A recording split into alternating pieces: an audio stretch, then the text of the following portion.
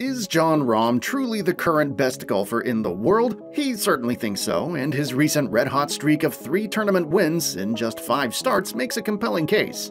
But despite his dominance on the course, Rahm finds himself sitting at a frustrating number 5 in the official World Golf Ranking, so what's happening? Rahm has vocalized his skepticism of the methodology behind the ranking system, and has dared to challenge the status quo by claiming that he deserves the top spot. With each win, Rahm's argument grows stronger, and the golf world is left to ask is the official World Golf Ranking system truly accurate, or is Rahm's talent being overlooked? What did he have to say? Stick around to find out all the details. Welcome to Golf Links, and remember to subscribe to the channel for updates on new video drops.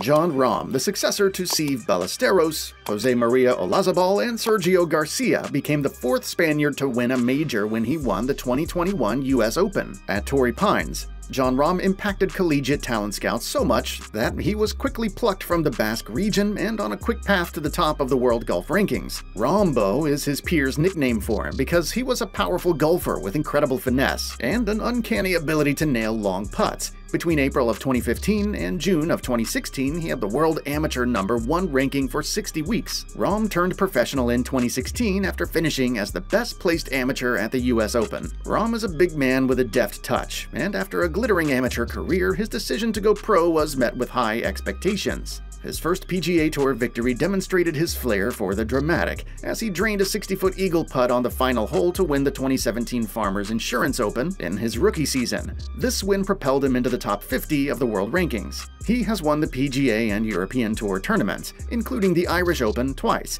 and two titles in his native Spain. He made his Ryder Cup debut late in 2018 during a week that included a singles victory over Tiger Woods, and shortly after that, he was invited to and won Woods' Hero World Challenge. Rahm finished the 2019 PGA Tour season with 12 top 10 finishes and was ninth in money earned. He ended the same season on the European Tour in spectacular fashion, taking home the race to Dubai and a $5 million bounty in addition to the DP World Tour Championship. Rahm claimed the world number one ranking one month into the relaunched 2020 season with a three-stroke victory in the Memorial Tournament at Muirfield Village Golf Club in Dublin, Ohio, before giving up the top spot to Justin Thomas after two weeks. Rahm eventually returned to the top after placing in a tie for 13th at the PGA Championship. After two weeks, his reign was over again. In early April, Rahm's wife Kelly gave birth to their first child, forcing him to make a last-minute dash to the 2021 Masters. Despite the rushed preparation, the new father finished quickly to tie for fifth place, Rahm tied for 8th at the PGA Championship,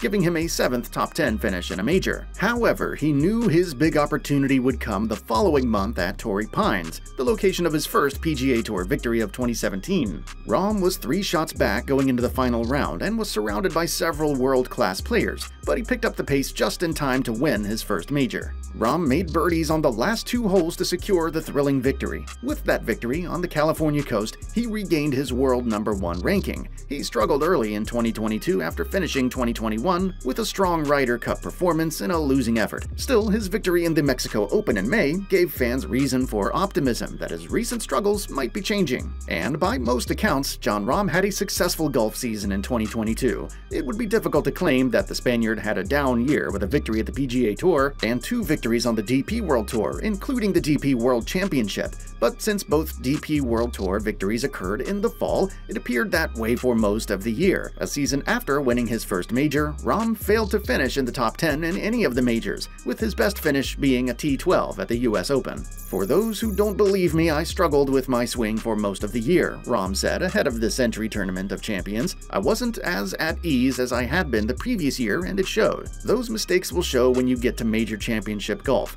where you need to improve in every way. In the magical season that saw him win his first major and reach the top of the official World Golf Ranking, the 2021 US Open champion placed 8th in strokes gained, but he dropped to 38th in that division in 2022. It just wasn't as smooth as I would have liked, Rahm explained. I still have a lot of top 10s. I believe I finished in the top 10 in nearly half of the tournaments I entered. This year, I didn't give myself as many chances to win as I would have liked. However, despite being in one of the best forms of his career, Jon Rahm's OWGR ranking did not increase. Jon Rahm was ranked number 5 in the official World Golf ranking at the start of 2023, a position he felt even at the time did not accurately reflect his recent dominant play, which was highlighted by victories at the Spanish Open and DP World Tour Championship late last year. The following days saw the former number 1 and 28-year-old Spanish star win the Sentry Tournament of Champions at Kapalua, the first ever designated event on the PGA Tour, defeating nearly all of the tour's top players. Rahm's OWGR ranking after the win he was still ranked 5th. If you're perplexed as to why Rahm's ranking didn't rise after such a significant victory, you're not alone. According to an interview Rahm gave with Sky Sports, he was also perplexed and slightly annoyed. You should know that Patrick Cantlay, who placed T16 at Kapalua, was still in front of Rahm in the OWGR rankings, as he was last year, and Rahm wasn't happy about it. Since the postseason, I've won three times, and I'm nowhere near Cantlay, Rahm told Sky Sports. I'm trying to figure out what's going on. For the record, Cantlay only finished the 2022 season with one win that resulted in OWGR points. However, it happened at a championship event, the BMW Championship, which had a strong field and, as a result, gave him a significant ranking boost, moving him from number 4 to number 3 at the time. Last year, he added three runner-up finishes among his 12 top 10, further solidifying his ranking. On the other hand, Rahm had two of his most recent victories at the DP World Tour competitions, which provide significantly fewer OWGR points due to the poor depth of fields compared to tour competitions. That was a point on which Rahm previously expressed concern last year. I'm going to be as blunt as I can, Rahm said ahead of the DP World Tour Championship in November. I think the OWGR is currently laughable. Laughable, laughable. Rahm found it laughable that the RSM Classic, the PGA Tour event that week, awarded more OWGR points than the DP World Tour's premier event, which featured other notable players like Rory McIlroy and Matt Fitzpatrick. The situation was made worse by the fact that Rahm won the competition after making his remarks marks. Still, just like before, his OWGR ranking remained at number 5. Rahm blamed recent OWGR changes and conditions, both then and now, for his unfortunate ranking circumstance. I would have been pretty damn close to world number 1 right now if they hadn't changed the world ranking points, Rahm said. But in my mind, I've been the best player in the world since August. Also, at the Sony Open in Hawaii, Adam Scott expressed similar worries during his pre-tournament press conference.